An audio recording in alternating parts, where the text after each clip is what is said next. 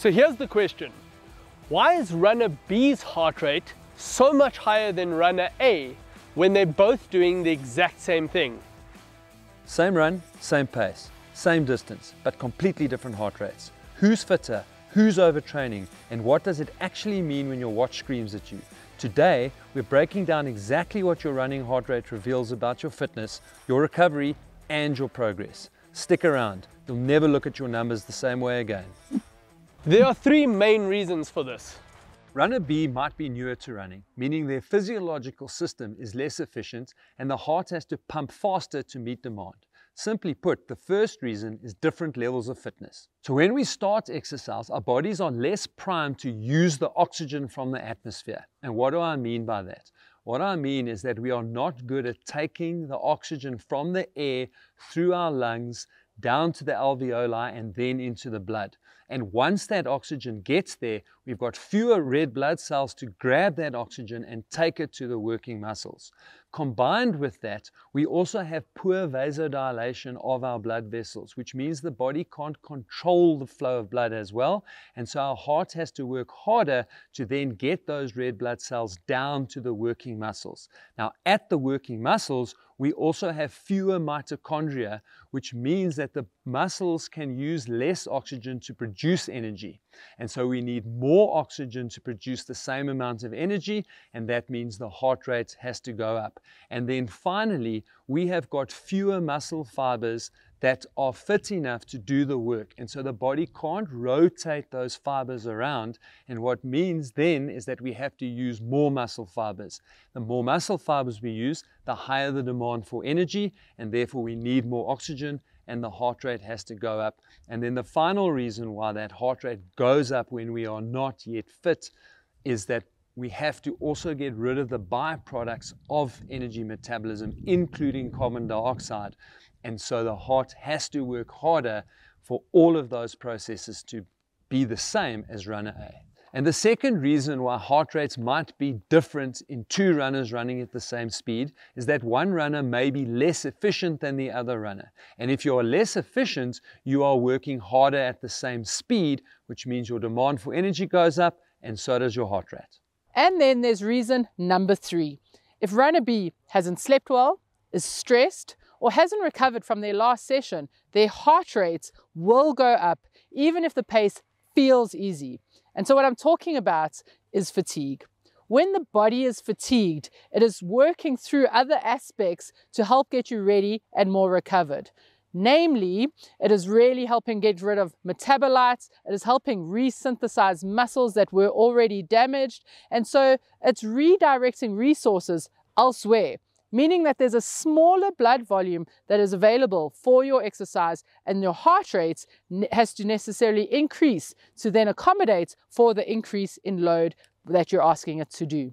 This can usually be picked up pre-run, in particular with your resting heart rate, as your heart rate will be elevated due to the body being under stress from lack of rest and recovery.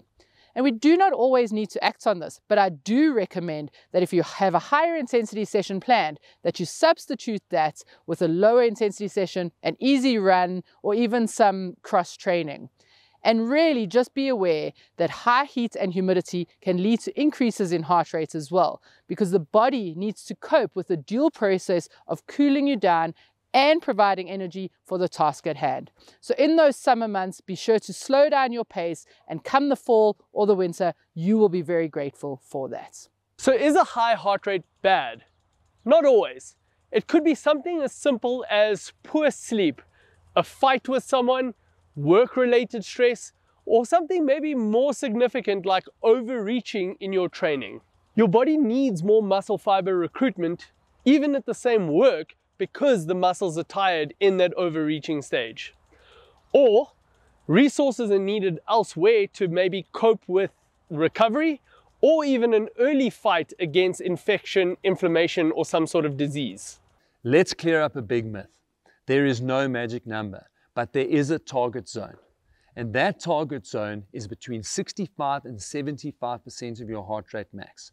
A simple way to do it is to use 180 minus age. It's not going to give you the exact zone, but it's going to make sure that you stay in what we call zone 2, which is the zone where most of the energy produced is through oxidative pathways or using oxygen.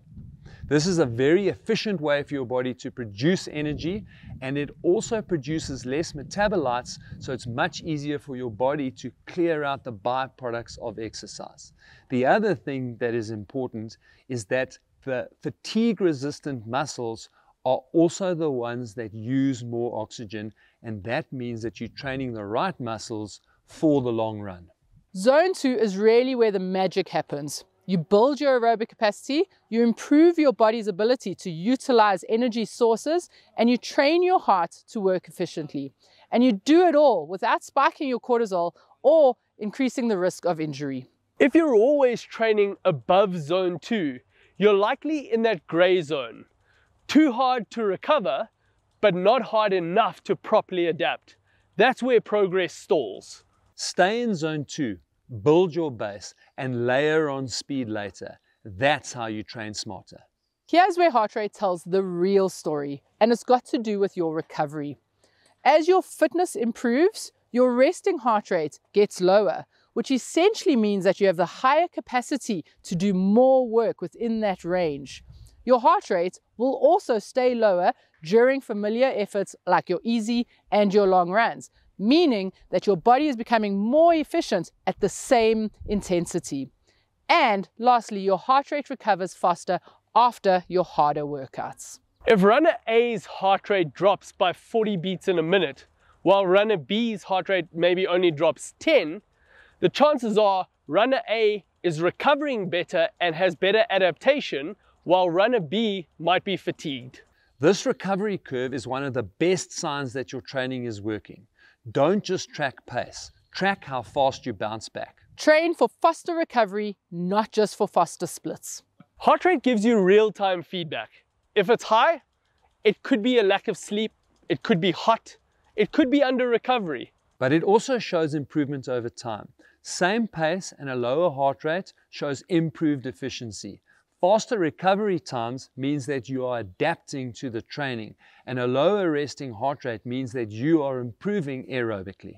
It's not about chasing low numbers. It's about chasing patterns or trends. And don't make the mistake of comparing your heart rate to someone else's. Yours is specific and relative to you. So use your data, use those trends to adjust intensity, to spot fatigue, to improve your recovery and track your progress.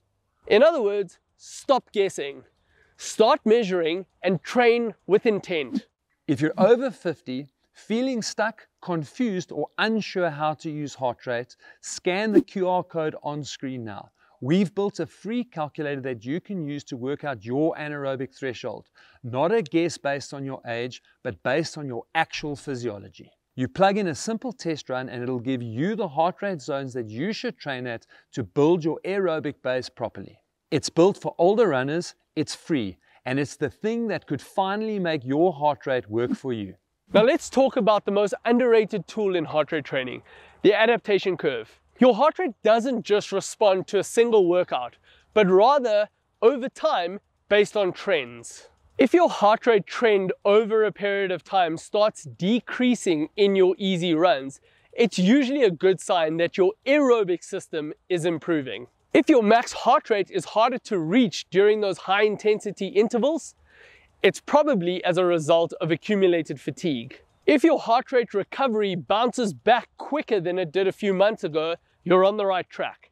These patterns tell the real story not the daily spikes or highs and lows. Heart rate variability, resting heart rate, or even training zones are like chapters in a book. The full story is only revealed if you read the whole thing. So start measuring these trends and not just the individual number.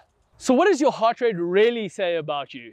It tells us how fit you are, how fatigued you are, and how well you are recovering. In our next video, we'll break down exactly how to train for a sub 20 minute 5K with specific zones, paces, and workouts. Even if you're not there yet, this will show you what smart speed work looks like. Click here to watch it. Let's turn your data into personal bests.